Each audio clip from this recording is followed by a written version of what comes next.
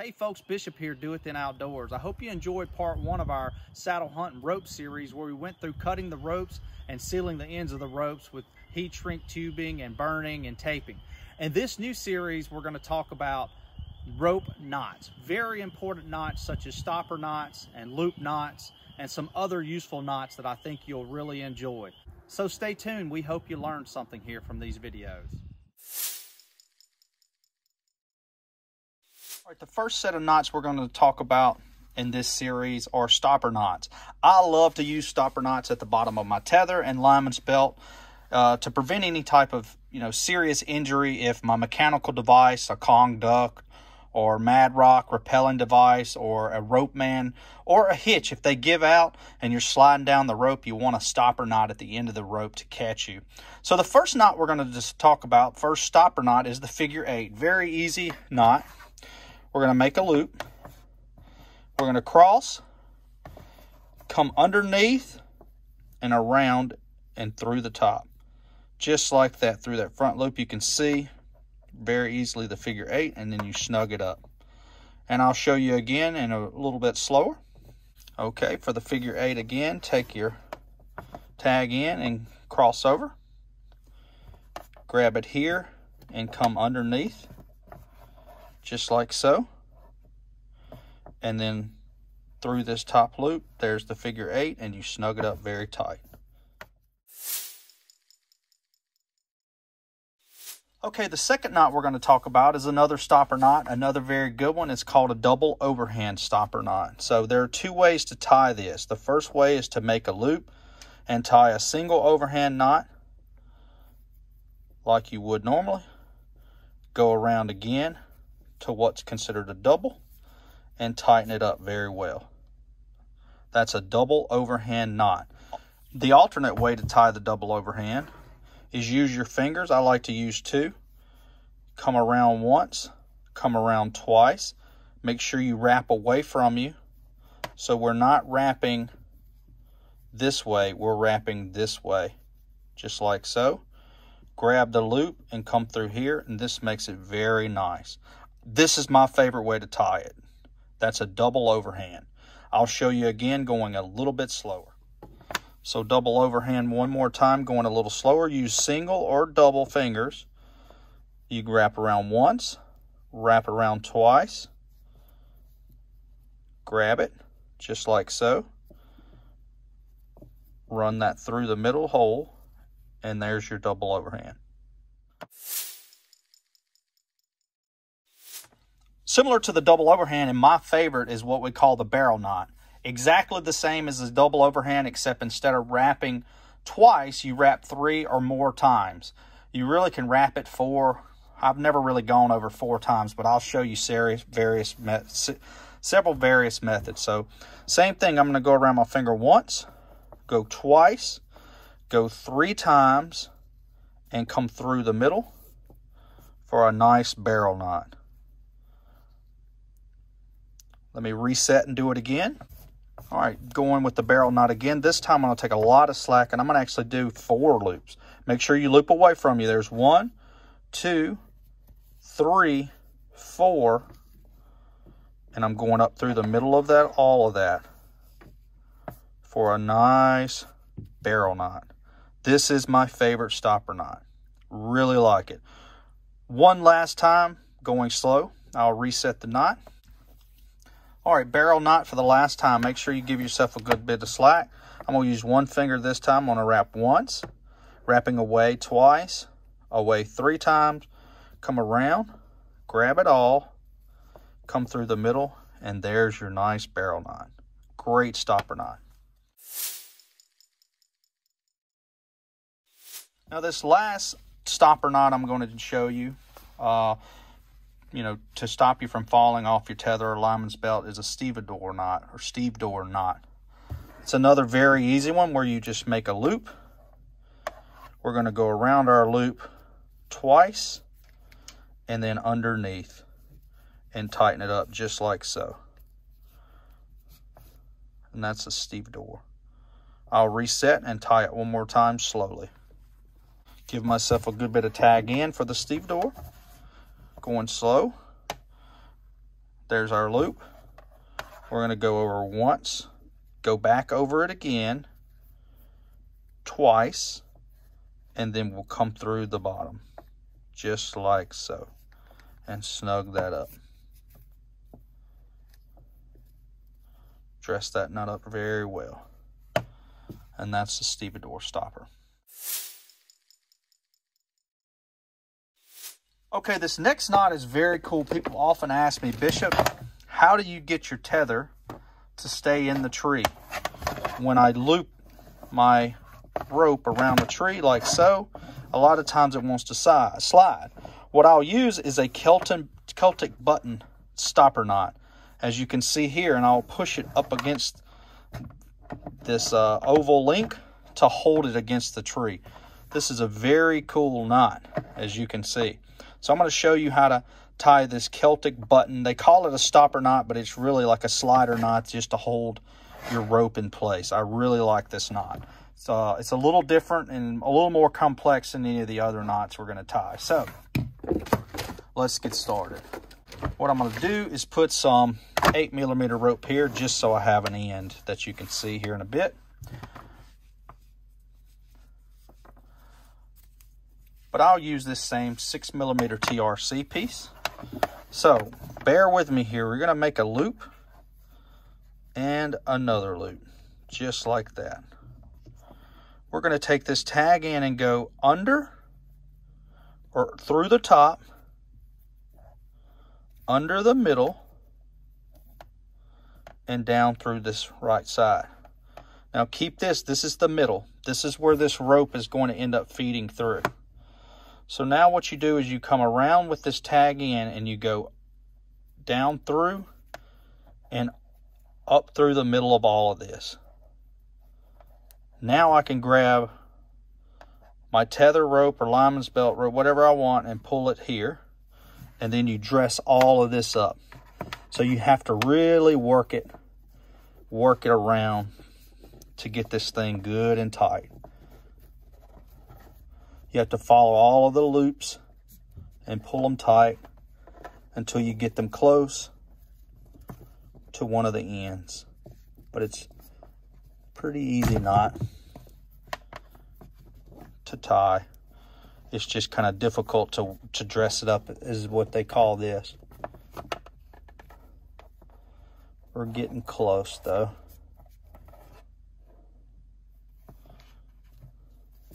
There we go.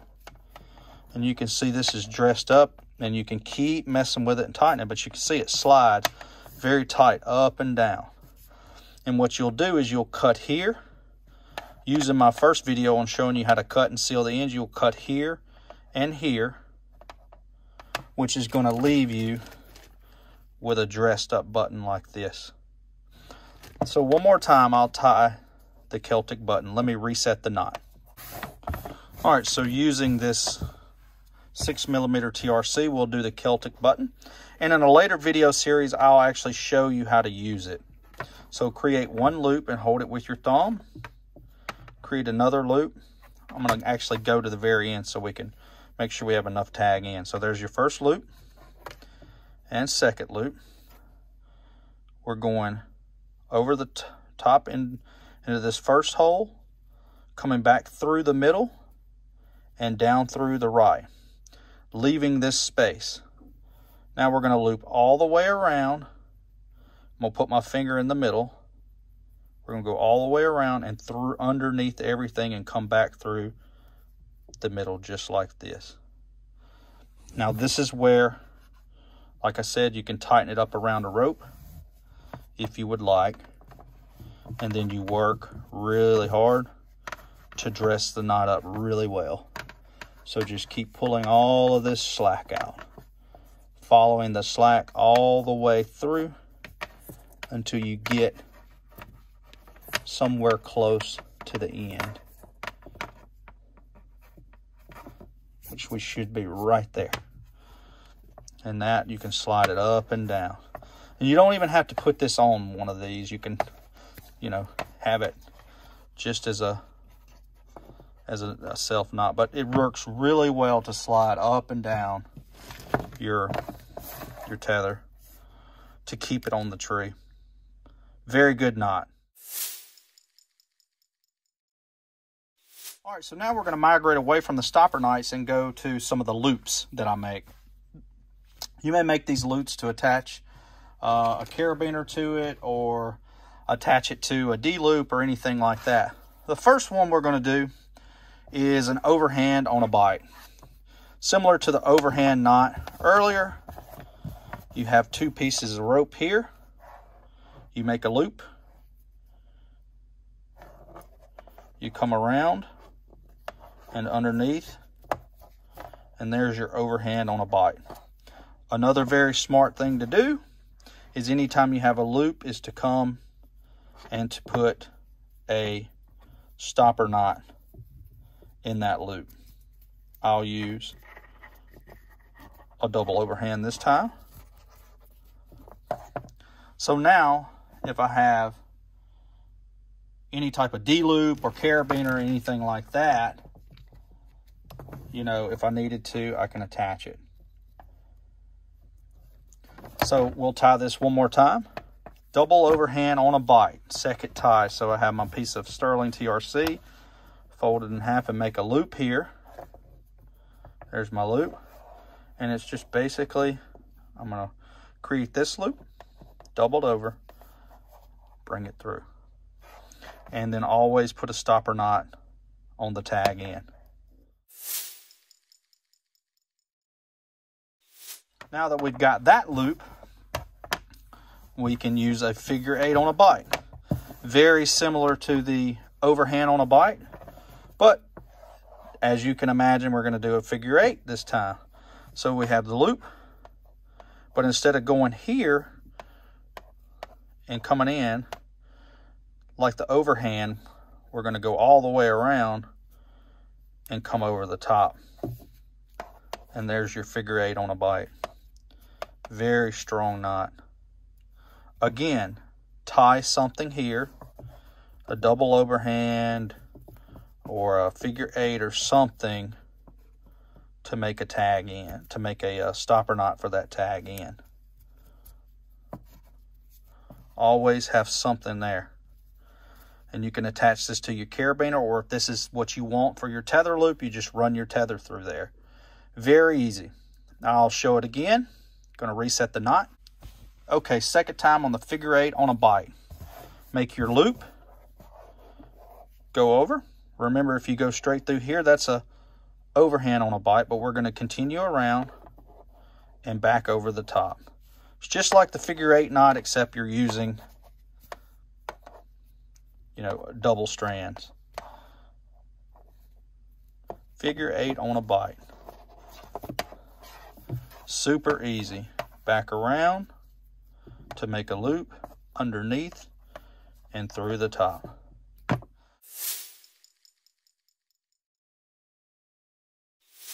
So this next knot we're going to talk about is very important.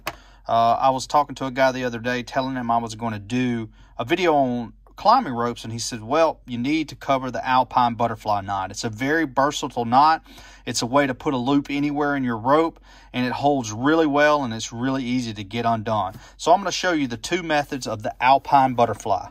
First thing you want to do is wrap it around your hand three times now what we're going to do is call this one two three so what we're going to do is grab number two and pull it under number one, and then wrap it on top of number one and three and come back under all of it. Just like that. And that is an alpine butterfly knot. I'll show you one more time real quick. Very easy to get undone. So wrap around your hands, hand once, wrap it around twice, three times, so one, two, three, or excuse me, one, two, three. We're going to grab number two, pull it under number one, go over the top of number one and three with number two, and then go back under all of them. Just like so. For the alpine butterfly knot. And no matter how tight this knot gets, you just take it and pull it open just like this and you can get it undone. The next way to do this knot is very easy, probably a little easier. You're just going to take and make a loop, twist it twice, like so. And you have this part here that opens up. You're going to take it and fold this underneath everything, just like that, and come back through that middle loop that you made. And tighten it up and turn it around and you can see, same deal. Take it like this to get it undone. Very, very good knot. All right, so I'll show you the Alpine butterfly knot one more time. So twist it slowly, just like that, twice. You're gonna have this piece right here. So you're gonna hold it down here, go over, and then back through all of it. Just like that.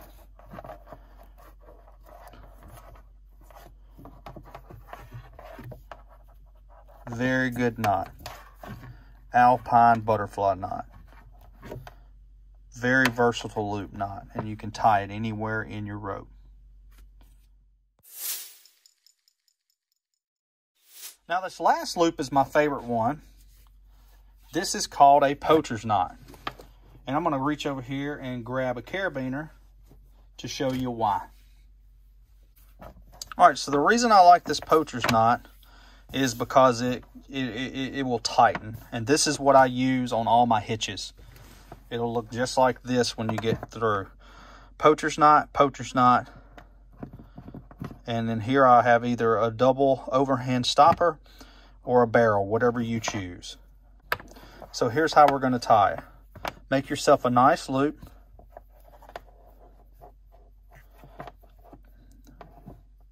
Go under around twice, and then back through this middle piece and pull it tight. And this is where I would put some sort of stopper knot, barrel knot, or double overhand. But what I like about this is I can attach it to a carabiner and it gets really tight.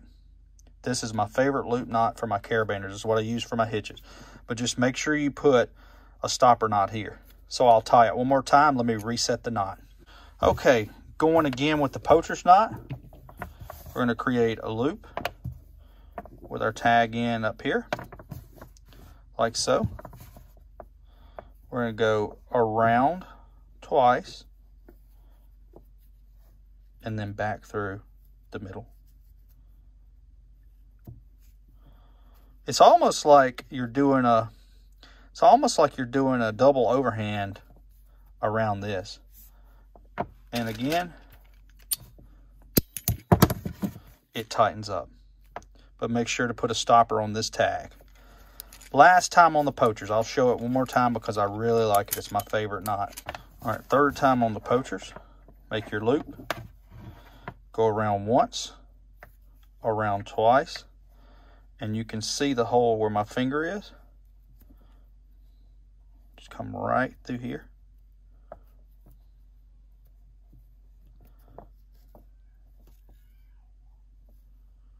Just like that. Poacher's knot. Great knot. All right, so what happens when we need to make one continuous loop out of this piece of rope for like a prusik? Um, what you'll do is use a double fisherman's knot. Very easy to tie. We just take the tag end here. We go around once, back around twice, and come right through this whole piece here. And snug that up. Then we flip the rope over and make sure we got another big tag end and we do the exact same thing again. Around once, cross over twice. You have this X here and you're going to bring the rope up through there just like so. And then you can snug it up. So what it looks like is here you have a barrel, and over here you have two X's. And this thing's going nowhere. Now you can twist it around your tether or your lineman's belt for a Prusik. So I'll reset this rope and we'll tie it again, the double fisherman's knot. All right, gonna attach these two again with the double fisherman's knot. So take a tag end, go around once, over, and come up through just like so. That's one side. Turn it over and give yourself enough slack to go around. Make this X. Come back underneath. And then back through like so. Pull it tight. And check it out. You have a barrel. you have two X's. Awesome knot. Double fisherman's knot. Holds very, very well. All right, well, I hope you enjoyed this part two series where we covered all different types of stopper knots and loop knots and other various knots that are super useful and very important in the saddle hunting world. Be very careful when you tie these knots. Do your research, make sure you got them right, make sure they're tight. So if you like this video, please hit that like button, subscribe to us on YouTube, follow us on Instagram and Facebook. We'll see you next time for part three where we covered Prusiks and various hitch knots. Thanks again and safe hunting from the boys at Do It Then Outdoors. Do it